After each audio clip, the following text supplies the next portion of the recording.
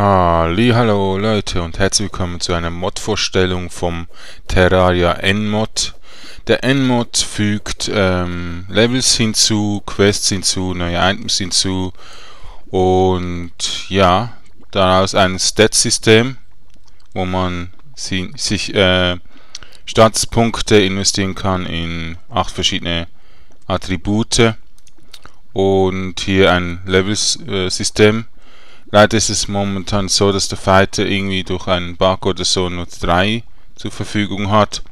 Aber das macht ihn nicht ähm, ja, schwach und man kann, ja, wie gesagt, ähm, der Fighter, also ja, der Warrior, ist eine von verschiedenen Charakterklassen. Da gibt es zum Beispiel auch einen Merchant, der einfach nur zum Handeln da ist und zum Items finden, weil er doppelte Chance hat auf Items. Und zum Beispiel der Dieb, der kann einfach nur also stehlen und ist sehr schnell mit dem Angriff. Ähm, dann gibt es zum Beispiel den Akolyt noch, der hat ähm, ja der bufft die Spiele und teilt sie. Und ja, da gibt es noch die normalen eben Fighter, Nahkampf, Fernkämpfer, Fernkampf und Magie. Magie. Und dann gibt es noch den anderen des Summoner gibt es nicht, aber es gibt ein Attribut, Charisma, wo dann ja so als Summoner ähm, ja hilft. Jo, ähm, ja, ich bin momentan in Korea, also mit dem Fighter unterwegs und bin eigentlich schon sehr, sehr, sehr weit. Ich müsste jetzt eigentlich nur noch ein paar Events machen. Wie zum Beispiel dieses äh, Night Moon, also das ähm, Halloween-Event. Und ein paar Items wie die beste Spitzhacke noch kaufen. Und das wäre was. Ähm, ja, hier ist zum Beispiel mal ein neues Item, das Surf Shield, gibt uns 30% Blockchance und erhöht unsere maximal Health um 40%. Das kann ich einfach so einsetzen, indem ich die rechte Maustaste drücke und während ich ang äh, angreife, kann ich dann ein bisschen, also nachdem ich angegriffen habe, kurz blocken, wenn ein Angriff kommt. Ja, wie ihr seht, unten sehr schwach. Ich habe 6200. 36 momentan, 37, 38, 39 Leben. Ich habe also sehr viel auf Vitalität gemacht. Und ähm, ja, MP braucht der Charakter nicht. Und CD ist die cool, also der Cooldown für die Fähigkeiten hier oben. Da hat jede Klasse hat so eine Fähigkeit.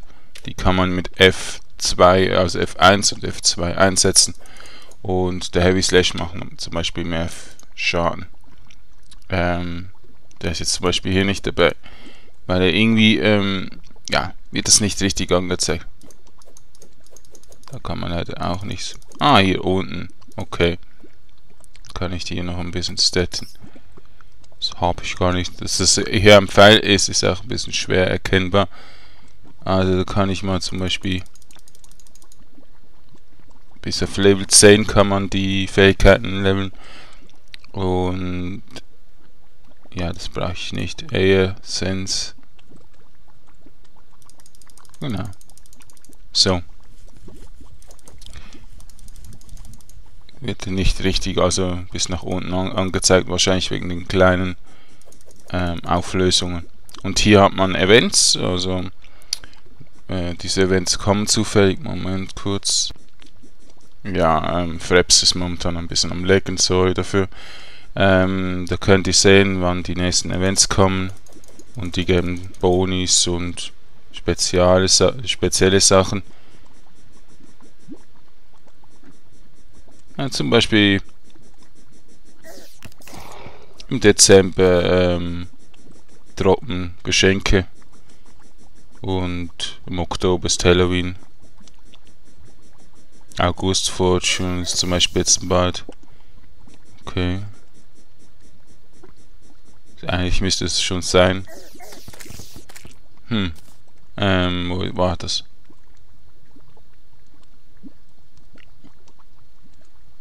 Goodie Bags, ja, das ist auch Holy Halloween, ähm.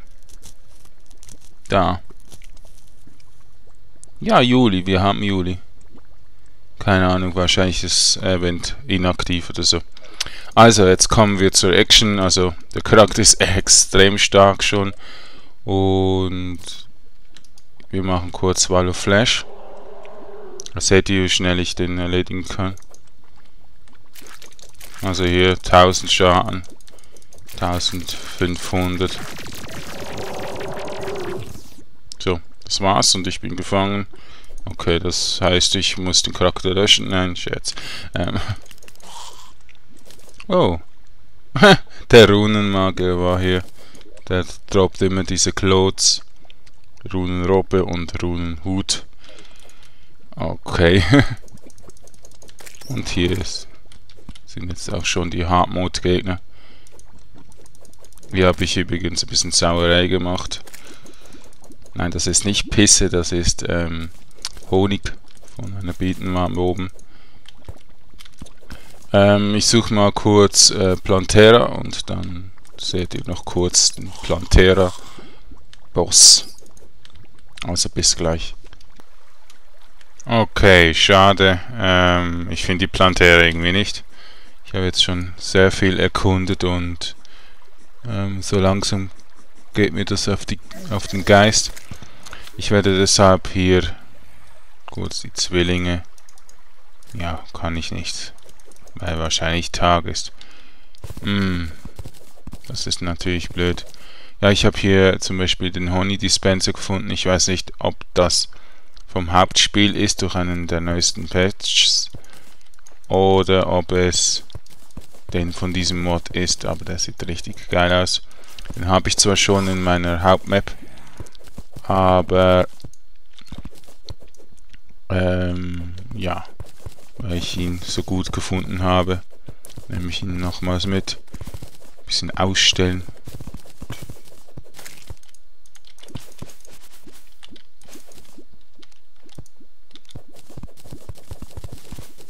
Ein paar Honeyblocks mitnehmen.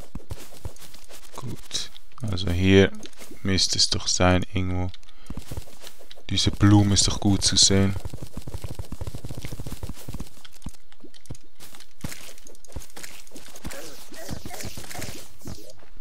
Ähm, nochmals probieren. Noch nicht.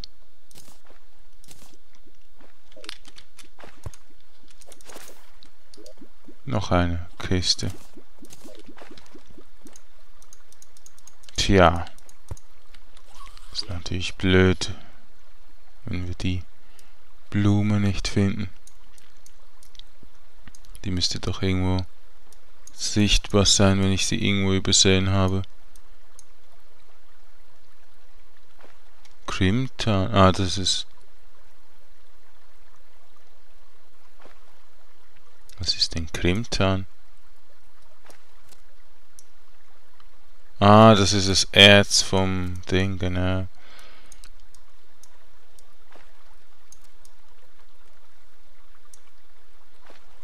Da ist auch ein bisschen Crimton. Ist das bei uns in der Nähe?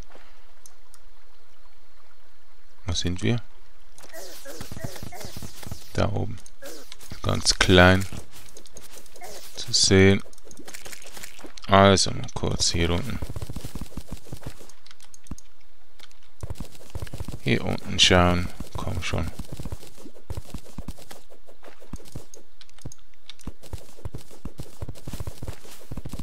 Ist irgendwie hier. Ich dachte, die leuchtet. Es ist die so schwer zu, zum Finden glaube, erst nach dem ersten Mal besiegen kommt sie öfters. Die Blume.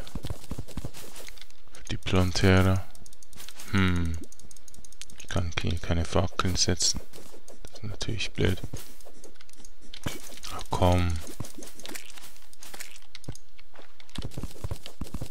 Ja, wenn man keine Luft mehr hat, das ist nicht weiter schlimm in diesem Mod. Man hat so viel Leben. Aber hier kann man mal kurz Luft schnappen. Genau. Ist der hier unten? Okay, dann suche ich nochmal ein wenig.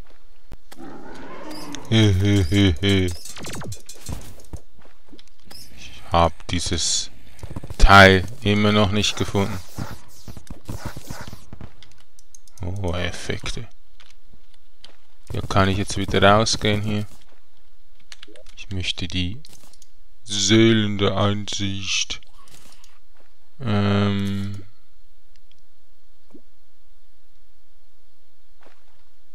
Hallo Bar.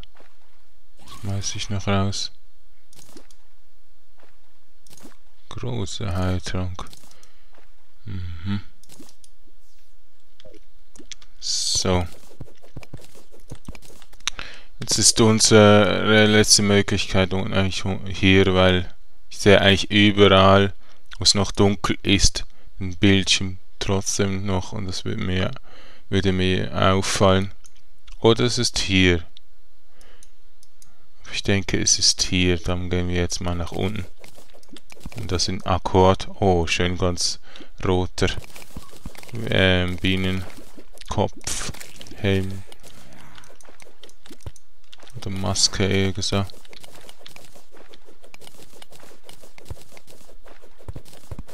Hallo? Ja, jetzt gehen wir nach unten. Hopp, hopp, hopp.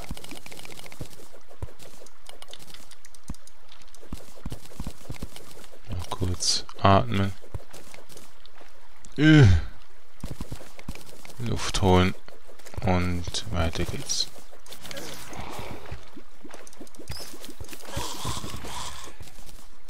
Mal schauen. Jetzt nach unten.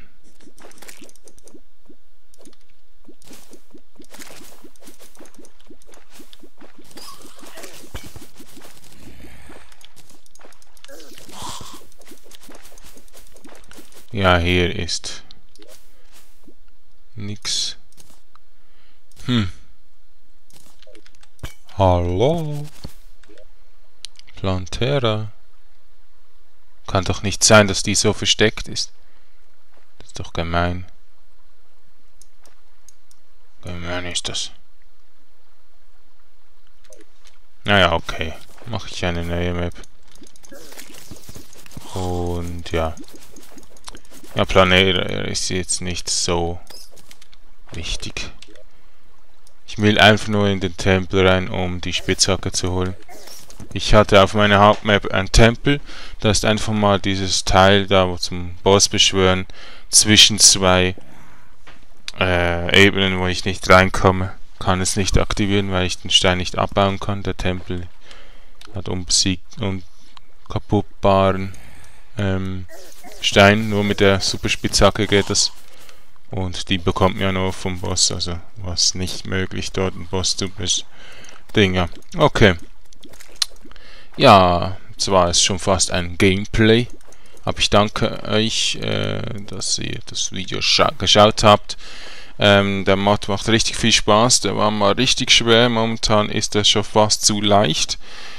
Und mit den Items, die ich habe, also zum Beispiel dieser der Cycle, die kann überall rein Schaden machen und so und hittet auch mehrmals pro Sekunde. Also die ist extrem OP. Und ja, das sollen sie noch ein bisschen schwer machen, aber wieder schwer machen. Und ja, aber er wird, es wird fleißig gearbeitet an dem Mod und das ist doch richtig cool. Also Dankeschön fürs Schauen und ja, vielleicht sehen wir uns bald mal in einem Let's Play von diesem Terraria Mod. Und ja, tschüss.